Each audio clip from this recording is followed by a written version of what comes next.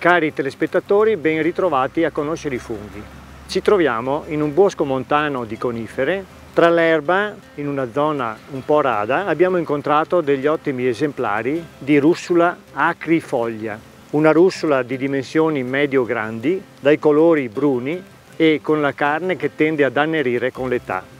Si vede un esemplare di dimensioni abbastanza grandi, vedete il diametro del cappello può raggiungere tranquillamente e superare i 10 cm.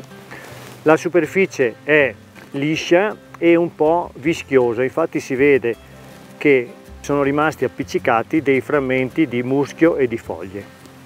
Il colore è bruno, più carico al centro e più chiaro verso il margine, margine che presenta una lieve incurvatura verso l'interno. Se noi capovolgiamo il fungo vediamo delle lamelle che sono di color crema o crace, qualche volta presentano anche delle sfumature rosate, sono abbastanza fitte e se noi proviamo a sentirne il gusto, il gusto di queste lamelle è molto molto piccante, infatti russola acrifoglia deriva il suo nome proprio da questo particolare. Il gambo è in questo caso piuttosto carico di colore brunastro, si possono trovare esemplari col gambo più chiaro, quasi bianco, della stessa tinta delle lamelle. Una caratteristica di questo fungo è l'arrossamento della carne dove viene toccata, ecco qui si vede già dove ho maneggiato un po' la base del gambo che è arrossata, ma anche le lamelle dopo un po' di tempo tendono ad arrossare.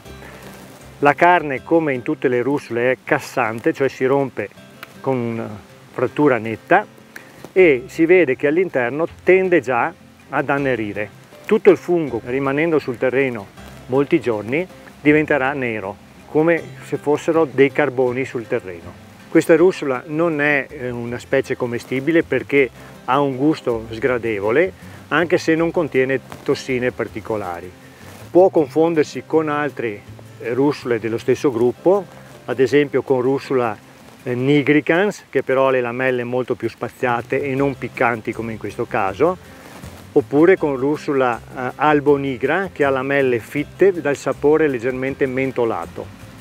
Abbiamo conosciuto in questa occasione russula acrifoglia, una russula piuttosto diffusa nell'ambiente montano di abete rosso ed è tutto per oggi, ci rivediamo con una nuova specie.